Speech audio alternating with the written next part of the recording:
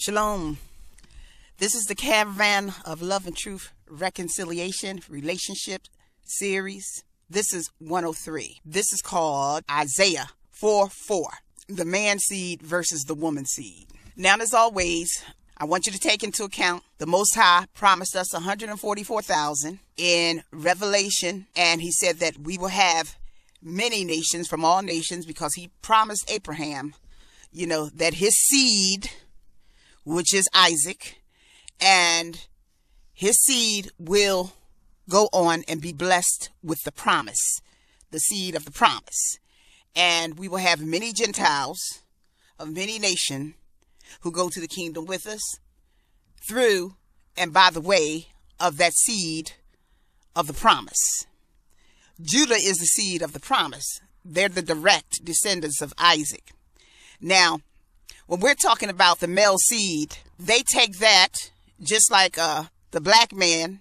He takes that and he sees his seed as something separate from the black woman in its own glory by itself.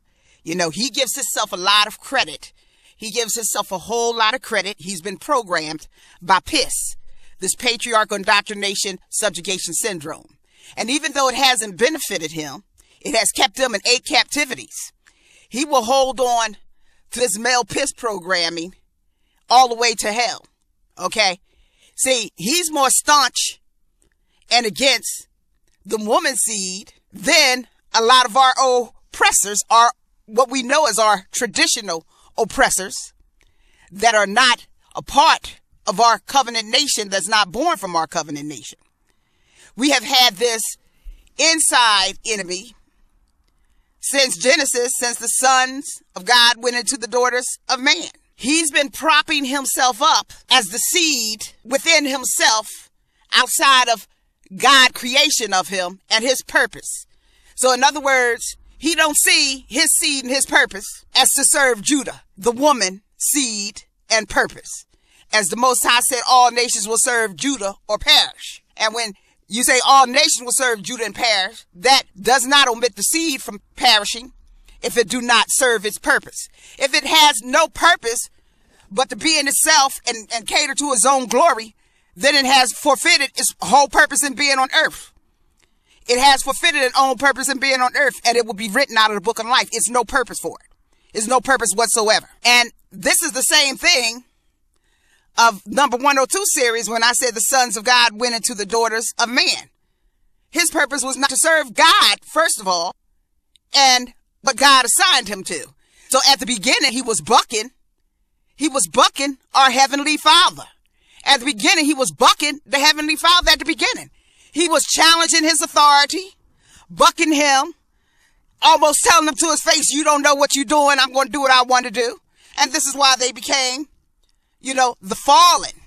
This is why they became the fallen. This is why a lot of them was kicked out, you know, but when they was kicked out, some of the good ones came along with them to watch what they was doing and to keep an eye on them because they was proven to be followers of Satan and just so disobedience who wanted to act like they was equal to the throne of God Almighty. They always wanted to act like they was equal to the throne of God Almighty. So if they thought they was equal to the throne of God Almighty, then they thought they was better than the woman they was created with. Okay? So now this is truth and reconciliation.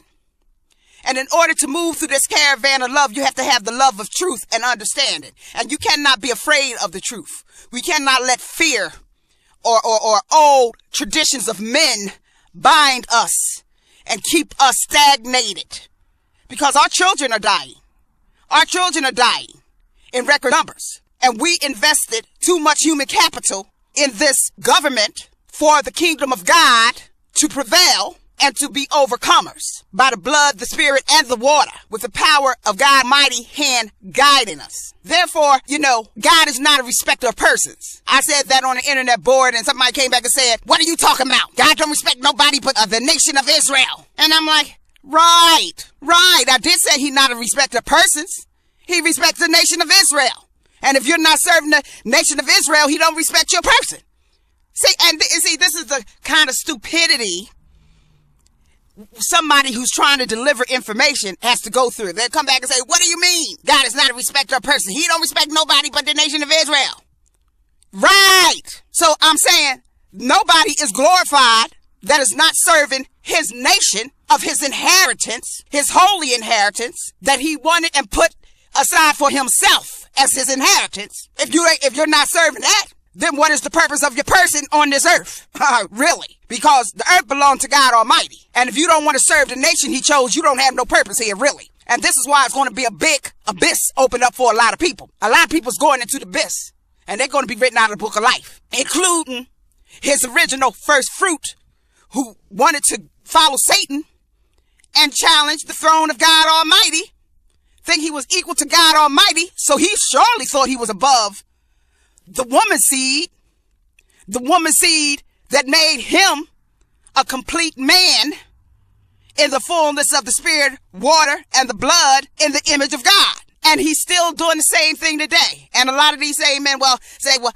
I blame God because why would he let his people be in this situation like this? And why would he uh, give his uh, only begotten son and let his son be put to death? And, and uh, Jesus Christ don't exist. And then some of you got to even see this is this this male seed saying this. I hardly hear this from the women. You know, I feel sorry for the righteous brothers. The righteous holy brothers have to deal with this karma of these ones who swear they're so intelligent. They swear they're so upright in their own body and their own person and their own little seed that they're still around today bucking the throne of the kingdom of God, saying that, questioning him, talking about well, why he sent his son to that. Well, why he let his children do this. And if he's so all powerful, well, why did he do this? Oh, Jesus is a homosexual. You know, oh, well, there ain't no such thing as a Messiah. Jesus ain't coming. This is called the falling off. And, uh, it's alarming. It's alarming. But it has to happen because this is the ignorance that is now descending in front of your face, which means the frequency is moving higher than them and leaving them behind. You know, See, these same seeded men never questioned their black brothers among them, but they want to go way to the throne of God Almighty and challenge the throne of God Almighty. They never asked the brothers, why are you not on the Jerusalem wall? Why have you abandoned your sons at 70%? Why didn't you raise me, Dad? Why are you black men not raising us? Why aren't we not coming together for the younger men coming behind us and setting up programs to get them through you know, the age of uh, direction, you know, which is like an age of a bar mitzvah, where they have their life planned out for them and they can discover what they want to do and move towards their goals in some kind of ceremonial that moves these young babies into esteem at the time where it would benefit them and they can move towards some esteem for the rest of their life. Now, what you see is an absentee. They can't even raise their sons. They can challenge my holy father? You think you can challenge my holy father? And you can't raise your sons? And you glorify a seed? You glorify the seed, and then when you make the seed, you abandon the seed, and then you challenge the throne of God Almighty. You actually think you could put your dense ego and your weak ass position of your seed that in general black men don't raise. They just let them exist and sprout up and get all these weeds of tares in them. And so to the point that they grow up talking about there's no God and why did God do this? And so they challenge in the throne of God Almighty in ignorance, but they don't challenge their absentee father, you see. None of the men challenged them leaving the Jerusalem wall and running with these Babylon whores. Men don't challenge men today. They argue, but they don't challenge in any kind of formal, intelligent forums. They don't set up juries to judge each other on their behavior. And see, this is why it's going to wind up with the women. The woman going to wind up judging your ass. And she's going to judge your ass. And you're going to see your seed ain't important within itself at all. Now, I've even heard a guy say, well, why did, did uh, God send uh, Jesus Christ to die if he was his father? Why would he send his only son? Duh! To show him that he can overcome death so he can prove it to himself. It's like you teaching your son to swim.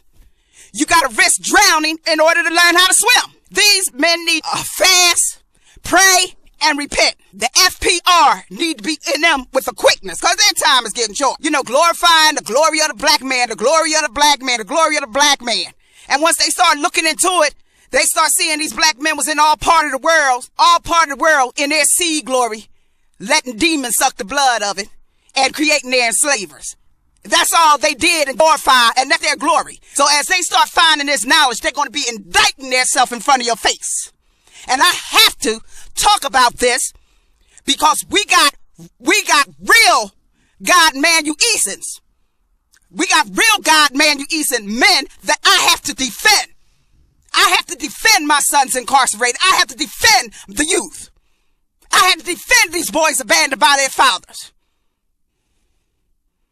So it's not that I'm putting down all of them. I'm saying the righteous ones need a defense against these rotten, gangrened, pineal gland who think their seed is glorified within itself. Some of you talking about, well, if I plant a seed in the earth, it's going to come up with what I plant in it.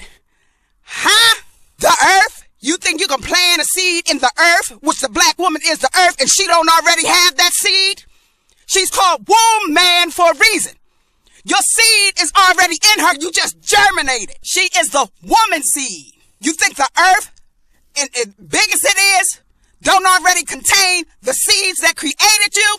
You came from the dirt of the earth. If you're planting it back, you're planting it back to something you already came from. So how you think you giving it something? And the black woman is the earth, like it or not. So Isaiah 4 4, these small thinking peon brain who glorify their seed, talking about, oh, she's going to hell. Isaiah 4, 4, 4, chapter 4, verse 4 says she's going to hell because, you know, it's going to be seven women to one man. And, and, and, her, and, and, the, and the fifth going to be washed away. So now she's the filth that's going to be washed away. See, and this is a lacking of common sense. If it is going to be seven women to one man, that means it's going to be less men. Who the hell going to be washed away? It's going to be seven women to one man. Because one man, real God man, you Eason, is important than all the other six filth. So who you think is going to be washed away? You think the woman is a filth? They're already telling you it's going to be one man to seven women. So evidently the filth that's going to be getting rid of is what's going to be the lesser amount. The man. Or the men who glorified themselves and thereby made themselves the eternal enemy of a sacred nation. Now, the woman seed of Galatians 4 4 confirms this. And when the time was fulfilled, a child was born from the woman seed. That Galatians 4 4 matches Isaiah 4 4. So the Most High is starting with judgment of Isaiah 4 4 of his nation and his sons that thought they can challenge his throne. And they so busy challenging his throne and hating his daughters that they can't raise their own sons, but yet they glorifying the seed while they trashing the seed all over the place. You glorifying the trashing it. And then you brag, well, that's why 70% of you alone is raising with men alone. And then you got all your sons looking at the women because see, they ain't got the sense because you ain't give them no sense. See, and they can't draw no manhood to look at you as a man and as men and say, what happened, brothers? What happened? Why did you throw us away? Why didn't you develop any uh, developmental programs for us? Why didn't you de- develop any manhood training for us in your communities? A lot of you have military training. Why didn't you help us, give us some of that discipline, maybe an hour or two on a Saturday or a Sunday? Why did you put your middle finger up at my mother when she asked you for a few dollars? Why didn't you not even call me to see whether I was living or dead? This is Mary Omni from the House of King David. This is um, Caravan, the woman seed versus the man seed, Isaiah 4 4.